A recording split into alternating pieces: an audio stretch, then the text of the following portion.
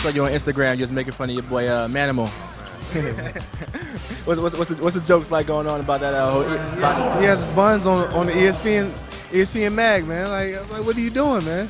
Who's this man? I told him, whoever your management is, you gotta fire them, bro. They should have never told you to do that.